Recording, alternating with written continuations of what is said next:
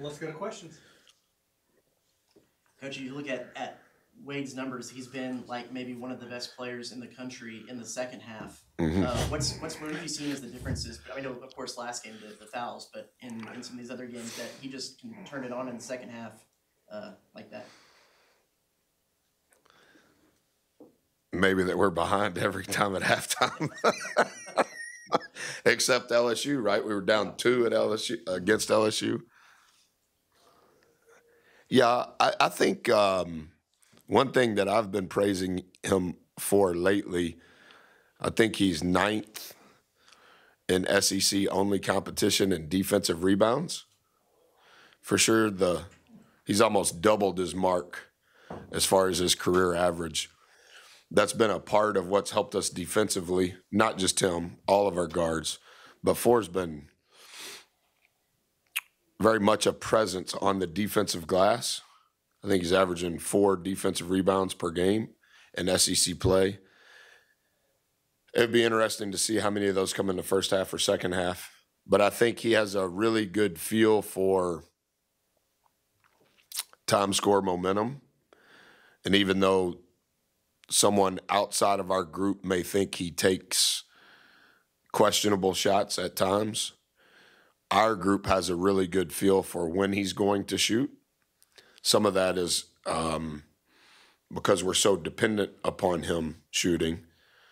I also think that he's very unselfish to be as talented as he is with the ball in his hand for someone who has the ball in his hand an extraordinary amount of time.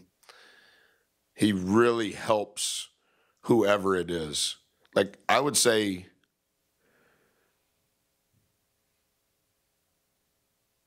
Does he have 10 turnovers in conference play? That, not sure yet. Check that.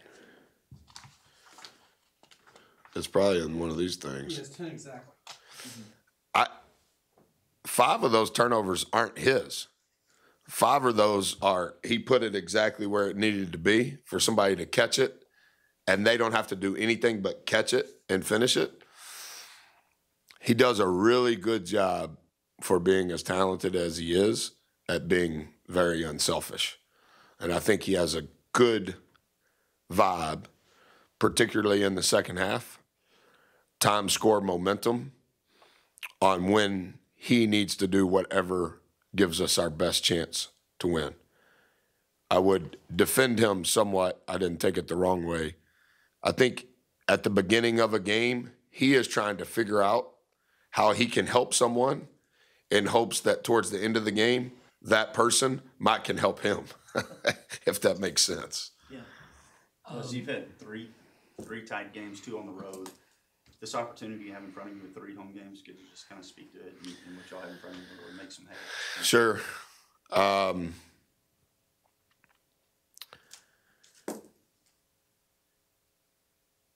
this will be the first time that we've had a bye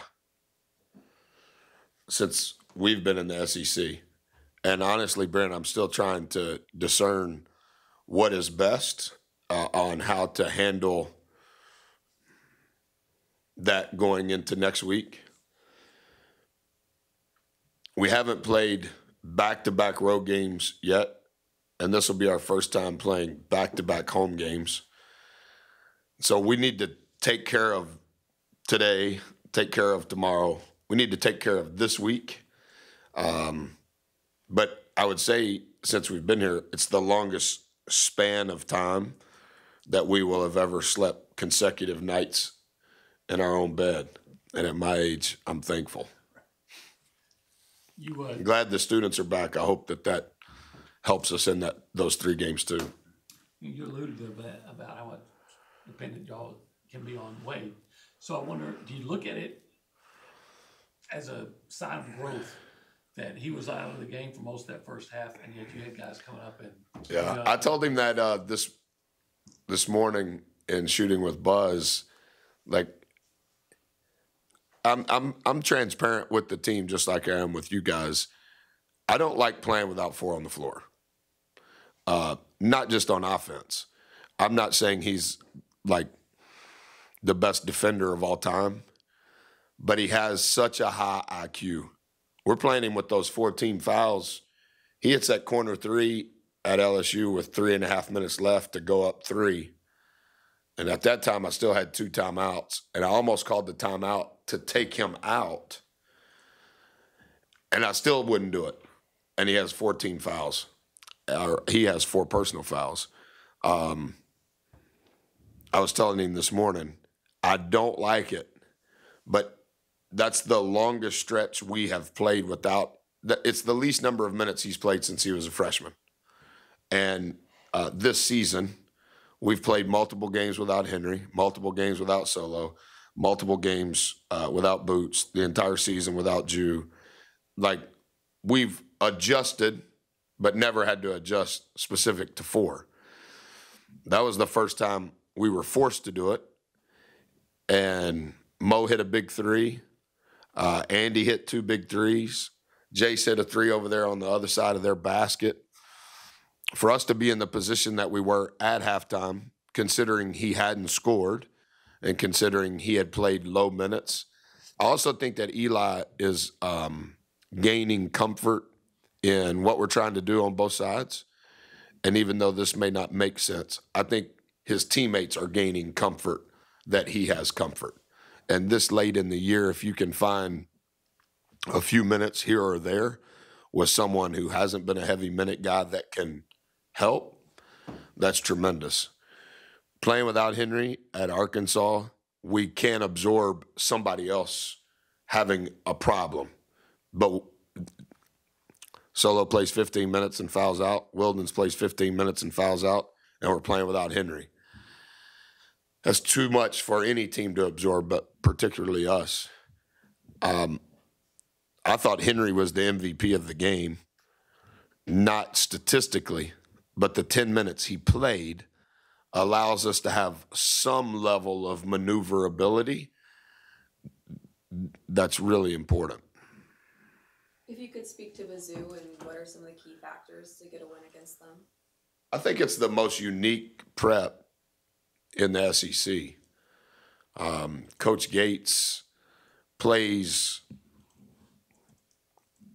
atypical to SEC teams. I actually think he coaches atypical to SEC coaches. Uh, very, very successful last year. They're not doing all of the same things, but there's remnants of how they play and it's different than any of the four teams that we've played thus far. And so I didn't want to overload our guys yesterday with too much new information, but I'm about to have to give them probably more than I do one day before because it's they're so unique in how they play offensively. And then they also do specific things defensively that require your time. And I think that's probably not putting words in coach's mouth. Uh, we're great friends, but I think that's part of why they play the way that they do on both sides of the ball is because if you're not careful, you'll spend all your time worrying about them instead of making sure you're doing what you're supposed to do.